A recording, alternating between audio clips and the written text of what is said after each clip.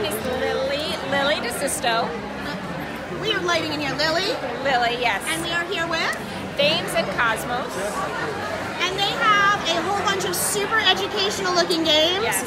And the first one that we're going to look at is one that I like to describe, because I'm me, as Connect 4 meets Tangrams meets Tetris in three dimensions. Yeah. So Lily's going to show me what you do. All right, so this is a game for two to four players or for two teams. Um, player has their own set of shapes of one color. Okay. So you, what basically, it's called drop it. You drop your shapes in, um, and you earn points based on where it lands. So what these uh, markers mean is that no yellow pieces can touch this part. No green pieces can touch this part. No blue pieces, no red. And the same with the along the edge. So you just can't. So you can have a yellow piece in this row, but you just can't have it touching the edge. Right. And the other um, thing too is that uh, two of the same shapes can never touch, and also two of the same color can never touch. No, this is hard, man. It is. I don't think I'm, I don't think I'm good enough for this. You know, it's deceptively like once you start playing it, you realize. Oh yeah, we have kids who want to see things. Help yourself out, kids. Yeah, we're just talking about dropping here. Um, once you start playing it, it gets more intuitive. You guys can step up. I'll get behind you so you guys don't get in it. How's that? You guys can see it. You're kids. Kids are more important than grown-ups. Yeah, that is here, if you guys want to. So actually, because we have these two really nice children here, young people, because one looks like a teenager, um, what I'm going to do is, is take it from the back so they're not identifiable and their parents don't know, because I didn't get to ask permission. Now we're going to watch them play the game a little bit. All right, so you guys, what you guys want to do is um, you want to drop your pieces in here, um, but there are certain rules. Sh- the same shapes can never touch, so you can never have a square touching another square, and the same colors can never touch. So you don't want this two yellows touching each other, for example.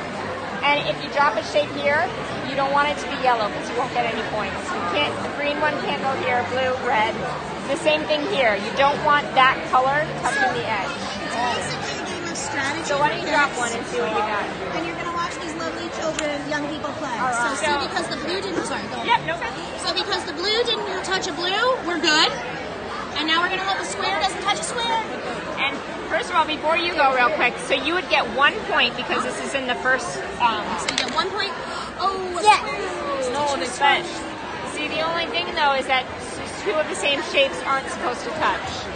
So that's okay. You just don't get you don't get any points this time, but the next turn you'll try again. Um, All right, we're going to watch it. Let's see. Oh, there's a. oh, nice. So that there you would get two points because it's in that level.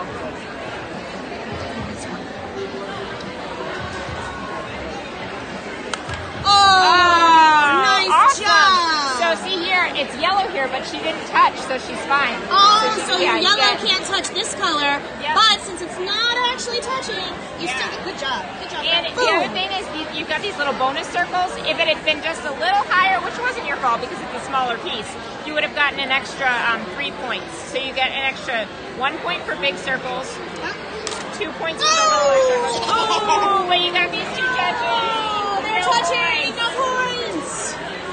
No, this is like, oh, what was it on? Um, I got show? the. Is Oh, Right. Plinko. yeah. But Does see- anybody remember Plinko from the Price is Yeah. Right? It's like Plinko. And so this one you've got all yellows to these two yellows are touching, but also this yellow is touching that one. So you don't want that to happen. So, So that really no a points. cool game of strategy. Yeah. That is super fun, especially if you want to play with a play- younger you play kid a- and team up in a team. yeah, Because you can sort of talk to them about You thinking through projects or thinking through problems. There's a lot of maker qualities to this that I like. There's a lot of creative thinking.